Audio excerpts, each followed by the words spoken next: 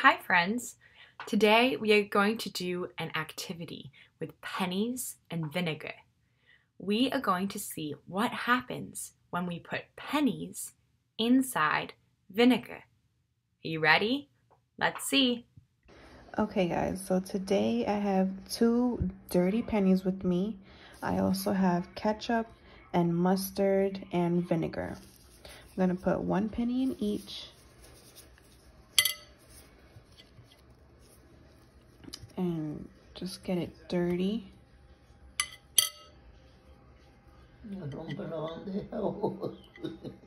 and then we're going to put both pennies in vinegar to clean them up. Wow, what will happen to the pennies in 8 hours? Now let's take out the pennies from vinegar. Go ahead.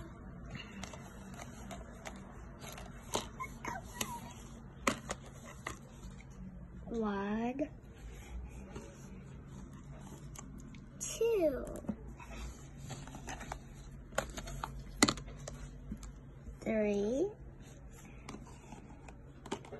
and, and four. Oh. Look at these pennies. Can you tell the difference? Sure. The, the ones on the left are shiny and clean.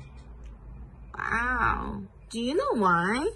Because they were in, in the vinegar for about eight hours.